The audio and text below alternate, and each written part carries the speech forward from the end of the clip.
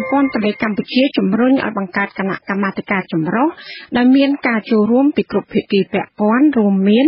តំណាងសហគមន៍តំណាងក្រុមហ៊ុនតំណាងរដ្ឋាភិបាល និងអង្គការសង្គមស៊ីវិល។ ចាគោលបំណងសំខាន់នៃគណៈកម្មាធិការចម្រុះនេះគឺដើម្បីត្រួតពិនិត្យសកម្មភាពក្រុមហ៊ុនវិរិយអគិសនីសេសានក្រោម2ពង្រឹងយន្តការក្នុងការដោះស្រាយផលប៉ះពាល់ដល់ប្រជាពលរដ្ឋកាត់បន្ថយផលប៉ះពាល់ផ្នែកបរិស្ថាននិងចូលរួមផ្ដល់ព័ត៌មានពីការប្រែប្រួលទឹក ចាំមន្ត្រីអង្គការសម្ព័ន្ធទន្លេកម្ពុជាចាត់ទុកថាសារៈប្រយោជន៍នៃការបង្កើតគណៈកម្មាធិការចម្រុះនេះគឺនឹងអាចផ្ដល់ឱកាសបើកទូលាយសម្រាប់ការសន្ទនានៅក្នុងចំណោមសហគមន៍ក្រុមហ៊ុននិងរដ្ឋាភិបាលអំពីទុកកង្វល់របស់សហគមន៍ទាក់ទិននឹងទំនប់សេសានក្រោម2ហើយដែលជាមូលដ្ឋានសំខាន់គ្រប់ភាគីពាក់ព័ន្ធត្រូវយកចិត្តទុកដាក់សម្រាប់សម្រួលនិងដោះស្រាយចាលោកម៉ែនសុធីរាយការណ៍ពឹស្ដាអំពីរឿងនេះ ភាពចម្រុងចម្រាស់នៃគម្រោងអភិវឌ្ឍទំនប់វារីអគ្គិសនីរបស់រដ្ឋាភិបាលតាក់ទិនទំនប់វារីអគ្គិសនីសេសានក្រោម2នៅតែជាប្រធានបទក្តៅសម្រាប់សហគមន៍រងផលប៉ះពាល់ភាគច្រើនជាជនជាតិដើមភាគតិចពួកគាត់នៅតែបារម្ភពីការចម្លៀសចេញពីលំនៅឋានការបាត់បង់អត្តសញ្ញាណជនជាតិដើមភាគតិចដីភ្នៅកប់សពដីព្រៃសហគមន៍ដីស្រែសម្រាប់ធ្វើកសិកម្មការប្រមូលអនុផលព្រៃឈើនិងការនេសាទត្រីតាមដងទន្លេជាដើម បញ្ហាទាំងនេះគឺជាប្រធានបទយ៉ាងសំខាន់ដែលសហគមន៍ជនជាតិដើមភាគតិចមួយចំនួនហាក់នៅមិនបដូរអេរយាប័តចាក់ចេញពីភូមិកំណើតហើយពួកគេបានលើកយកកត្តាទាំងនេះថ្លែងក្នុងវេទិកាសាធារណៈកាលពីថ្ងៃទី28កក្កដាទទូចឲ្យរដ្ឋាភិបាលពិចារណាគម្រោងនេះឡើងវិញទោះបីជាគម្រោងនេះបានសាងសង់សម្រេចបានជាង30%ទៅហើយក្តី។ ចំណែកសហគមន៍ដែលយល់ព្រមទទួលយកសំណងស្នើឲ្យរដ្ឋលេខាធិការក្រសួងរាយនឹងធម្មពលនិងក្រុមអង្គការសង្គមស៊ីវិលជំរុញឲ្យក្រុមហ៊ុនធានាគុណភាពសំណង់ព្រមទាំងចុះកិច្ចសន្យាជាក់លាក់ដែលធានាគុណភាពកម្រិតបទដ្ឋានស្តង់ដាររយៈពេលជិត10ឆ្នាំ។ ពលរដ្ឋជនជាតិដើមភាគតិចដែលរងផលប៉ះពាល់មកពីឃុំក្បាលរមៀឃុំស្រែកឃុំភ្លុកនិងមកពីខេត្តរតនគិរីលើកឡើងក្នុងវេទិកាសាធារណៈនោះតាក់ទិនទុកកង្វល់និងផលអវិជ្ជមានផ្សេងផ្សេងនៅពេលដែលទំនប់នេះដំណើរការដូចជាការប្រែប្រួលចរន្តទឹកការប៉ះពាល់ផ្នែកបរិស្ថាននិងផ្នែកគ្រប់គ្រងហានិភ័យផ្សេងផ្សេងជាដើម។ សហគមន៍ទាំងនោះជំរុញឲ្យក្រុមហ៊ុនទទួលខុសត្រូវនៅការគ្រប់គ្រងហានិភ័យផ្សេងផ្សេងនៅពេលដែលទំនប់បើកឲ្យដំណើរការដូចជាការគ្រប់គ្រងការប្រែប្រួលទឹកការកាត់បន្ថយផលប៉ះពាល់ជលផលនិងការទទួលខុសត្រូវរាល់ការបញ្ចេញកាកសំណល់ចូលទន្លេដែលបង្កឲ្យប៉ះពាល់គុណភាពទឹកដែលជាដើមចមប៉ះពាល់ដល់សុខភាពពលរដ្ឋដែលអាស្រ័យផលទឹកទន្លេផ្នែកខាងក្រោមប្រសិនជាមានការលេចលង់ឬក៏យ៉ាងណាមិនបានទទួលខុសត្រូវចង់លេចក៏លេចទៅពួកយើងនៅតែស្រួយក៏ដោយបាទចង់សួរទៅអស់លោកថា តើនរណាជាអ្នកទទួលខុសត្រូវបើពេលក្រុមហ៊ុនចេះទៅខត់ទៅទៅខត់ទៅឲ្យជាប្រឹកប្រឹកនេះដែរប៉ុន្តែឪពុកម្ដាយបានចាស់ជាដៃឬក៏ចេះស្រោឲ្យកូនក្រោយពីបានទទួលផ្ទះពួកខ្ញុំទាំងអស់គ្នាបានផ្ទះដោយស្តង់ដារទី1ផ្ទះថ្មបាទគ្រប់ប្រេះបាក់ក្រុមហ៊ុនផ្ដល់ឲ្យជាបរិបទលេខដៃចេញពីប្រជាបរិបទអញ្ចឹងមុននឹងផ្ដល់ឲ្យជាបរិបទហ្នឹងក្រុមហ៊ុនធានាប្រមាណឆ្នាំ តំណាងជនជាតិដើមភាគតិចភ្នងលោកស្រុនស្រៀនបារម្ភថាយន្តការក្នុងការដោះស្រាយផលប៉ះពាល់របស់រដ្ឋាភិបាលរួមទាំងតំណាងក្រុមហ៊ុនហាក់នៅមិនទាន់ធ្វើឲ្យសហគមន៍ដែលរងផលប៉ះពាល់មានជំនឿចិត្តនៅឡើយទេទៅទៅវិញពួកគាត់នៅតែស្ទាក់ស្ទើរក្នុងការទទួលយកសំណងការចុះស្រង់ព័ត៌មានពីផលប៉ះពាល់ទ្រព្យសម្បត្តិការចុះផ្សព្វផ្សាយគោលនយោបាយដោះស្រាយផលប៉ះពាល់និងការទទួលខុសត្រូវចំពោះការផ្ដល់សំណងដូចជាផ្ទះលំនៅឋាន ទីតាំងដីកសិកម្មដីព្រៃសមរភាពនិងដីធ្នូកប់សពលោកថាសហគមន៍នឹងមិនព្រមចាក់ចេញជាដាច់ខាតបើទោះបីបានវាស់វែងទៅហើយប្រសិនបើការផ្ដល់សំណងធ្វើឡើងមិនច្បាស់លាស់ប្រជាពលរដ្ឋចង់ទាមទារ ឲ្យគាត់ធានាគោលបំណងនឹងការសាងសង់ហ្នឹងឲ្យបានរឹងមាំគាត់ថាអត់ទេអានឹងចាំជួបក្រុមហ៊ុនវិភាគសាគ្នានៅពេលក្រោយទៀតបើអញ្ចឹងមានតែក្នុងសហគមន៍នឹងជនរងគ្រោះដែលក្នុងរាជអគ្គិសនីសេសានទីហ្នឹងនៅតែរងចាំរហូតទេមន្ត្រីសង្គមស៊ីវិលអះអាងថារដ្ឋាភិបាលផ្ដល់ជាសញ្ញាវិជ្ជមានមួយដើម្បីបង្កើតគណៈកម្មាធិការដោះស្រាយផលប៉ះពាល់ចម្រុះចូលរួមពីគ្រប់ភាគីពាក់ព័ន្ធដូចជាតំណាងរដ្ឋាភិបាលតំណាងអង្គការសង្គមស៊ីវិល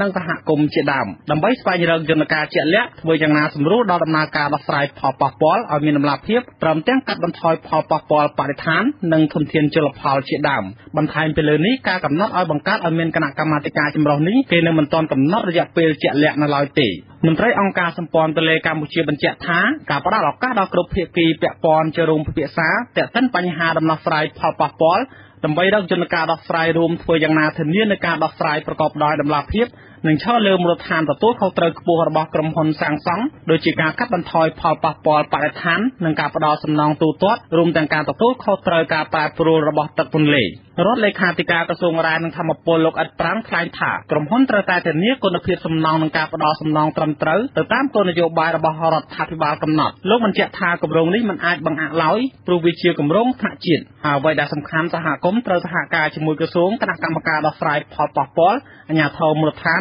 រួមទាំងអង្គការសង្គមស៊ីវិលដើម្បីផ្ដល់ព័ត៌មានពីភាពចន្លោះប្រហោងរបស់ក្រុមហ៊ុនការផ្ដល់សំណងនិងការប្រែប្រួលច្រំទឹកគោលបំណងដើម្បីឲ្យក្រសួងនិងស្ថាប័នពាក់ព័ន្ធជជែកពិភាក្សាដោះស្រាយកែលម្អនិងសម្របសម្រួលដោយឈរលើគោលនយោបាយរដ្ឋាភិបាលជាមូលដ្ឋានជាមួយសហគមន៍រងផលប៉ះពាល់និងសង្គមស៊ីវិលអង្គប្រជុំគណៈរដ្ឋមន្ត្រីគឺ20គុណ50សម្រាប់ពេលដែលអនុម័តគម្រោងនេះឲ្យសងប្រជាជនយ៉ាងម៉េចខ្លះហ្នឹងគោលនយោបាយសំណងហ្នឹងគឺសម្រាប់ដោយគណៈរដ្ឋមន្ត្រីប្រជុំគណៈរដ្ឋមន្ត្រី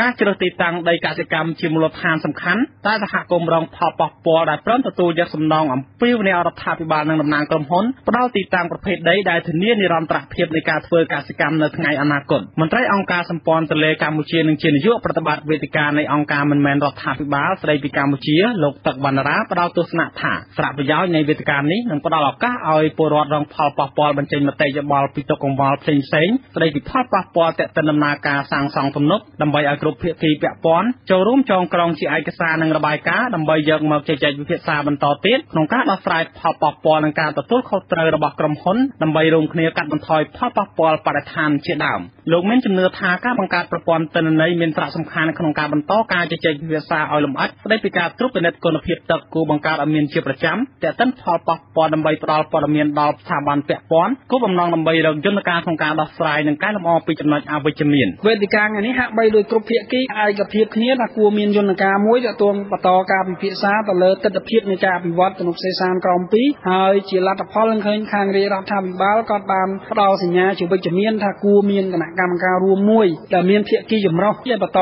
ត្រួតពិនិត្យទៅលើយន្តការដែលកំពុងដោះស្រាយហើយមានអ្នកឆ្លើយតបទៅនឹងបញ្ហាផលប្រជាជនបាទបន្ទាប់ពីការចូលរួមក្នុងវេទិកាសាធារណៈនេះមន្ត្រីសង្គមស៊ីវិលមើលឃើញថាភាពចម្រុងចម្រាស់ពាក់ព័ន្ធការដោះស្រាយរបស់តំណាងរដ្ឋាភិបាលនិងសហគមន៍នៅតែមានឬមិនអាចដោះស្រាយបញ្ចប់បានឡើយមន្ត្រីសម្របសម្រួលបណ្ដាញទន្លេ3លោកមិចមានយល់ថាការបង្កើតឲ្យមានការជជែកពិភាក្សាគ្នាជាសាធារណៈពីគ្រប់ភាគីពាក់ព័ន្ធជាចំណុចសំខាន់ដើម្បីផ្ដល់ឱកាសដល់សហគមន៍រងផលប៉ះពាល់បានលើកឡើងដោយបើកចំហពីផ្នត់គំនិតរបស់សហគមន៍នៅទុកកង្វល់ផ្សេងៗដើម្បីឲ្យអ្នកពាក់ព័ន្ធពិសេសរដ្ឋាភិបាលចូលរួមដោះស្រាយទាំងអស់គ្នា លោកបន្តថាចំណុចសំខាន់ដែលរដ្ឋាភិបាលរួមទាំងអ្នកពាក់ព័ន្ធផ្ដោតការយកចិត្តទុកដាក់សម្រាប់សម្រួលដោះស្រាយនោះត្រូវឈរលើគោលការណ៍ផ្នែកច្បាប់និងការគោរពសិទ្ធិមនុស្សជាមូលដ្ឋានសំខាន់ការដែលយើងតម្រូវឲ្យគាត់រុះរើចេញឬក៏ការស្នើសុំចេញនោះវាជាការសម្រេចចិត្តរបស់ពួកគាត់ផ្ទាល់ខ្ញុំគិតថារាជរដ្ឋាភិបាលនឹងយកចិត្តទុកដាក់លោកវិជ្ជមានរកឃើញថាចំណុចសំខាន់ដែលក្រុមហ៊ុន Hydro Power សេសាន2លំបាកតែកតិនដំណើរការកសាងប្រឡាយទឹកចាស់ដើម្បីស្ដារឡើងវិញបង្រៀងការបំលាស់ទីរបស់ត្រីនិងការធ្វើចរាចរណ៍ត្រីគឺជាបញ្ហាចម្បងដែលក្រុមហ៊ុនអាចនឹងពិបាកក្នុងការដោះស្រាយព្រោះអាចកាត់បន្ថយកម្លាំងទឹកនិងបុកចំតំបន់វារីអគ្គិសនីលោកថាអង្គការលោកកំពុងអង្កេតតាមដានពីយន្តការក្នុងការបង្កើតប្រឡាយទឹករបស់ក្រុមហ៊ុនកសាងទំនប់ដែលបង្រៀងទំនប់ដើម្បីកាត់បន្ថយផលប៉ះពាល់ជលផល ដែលធានាថានឹងមិនឲ្យប៉ះពាល់ដំណើរត្រីធ្វើបំលាស់ទីបានលោកមិចមានជំរុញឲ្យគ្រប់ភាគីពាក់ព័ន្ធតាមដានសកម្មភាពកសាងបន្លាយទឹករបស់ក្រុមហ៊ុនឬបើកការជជែកវិភាសាឲ្យបានលម្អិតបញ្ហានេះព្រោះវាជាមូលដ្ឋានសំខាន់បើសិនបើមានការធ្វើប្រហែសអាចបាត់បង់ធនធានជលផលធំសម្បើមព្រមទាំងប្រភេទត្រីកម្រជាច្រើនអាចនឹងផុតពូជ របាយការណ៍សិក្សាផលប៉ះពាល់ស្តីពីការកសាងទំនប់វិរិយអគិសនីសេសានក្រោម2មានប្រជាពលរដ្ឋជាង1000គ្រួសារនៅភូមិចំនួន7ក្នុងឃុំចំនួន3ត្រូវបានជម្លៀសចេញពីភូមិចាស់ទៅតាំងទីលំនៅថ្មីក្នុងស្រុកសេសានចម្ងាយប្រមាណ720គីឡូម៉ែត្រពីភូមិចាស់ទំនប់វិរិយអគិសនីសេសានក្រោម2ក្រុងចំណាយថវិកាសរុប977លានដុល្លារអាមេរិកអាចផលិតថាមពលអគិសនីបាន400មេហ្គាវ៉ាត់និងក្រុងសាងសង់រៀងរាល់នៅខែមិថុនាឆ្នាំ2017 ដោយក្រុមហ៊ុន Lanchain Hydro Power China Electric អាជ្ញាធរខេត្តស្ទឹងត្រែងឲ្យដឹងថាតាមការគ្រោងទុកទំនប់នេះនឹងបើកឲ្យដំណើរការនៅខែមិថុនាឆ្នាំ2017ខ្ញុំម៉ែនសុធីវិសុអាស៊ីសេរីពីខេត្តស្ទឹងត្រែង